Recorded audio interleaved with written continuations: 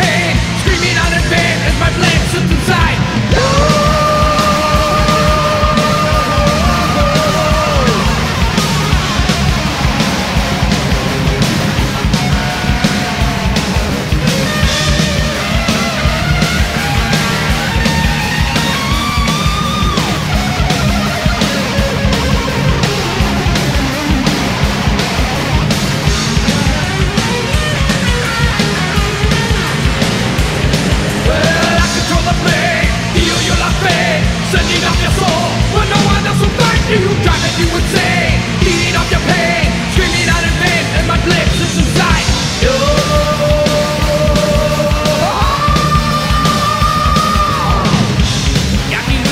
your blade, the victim.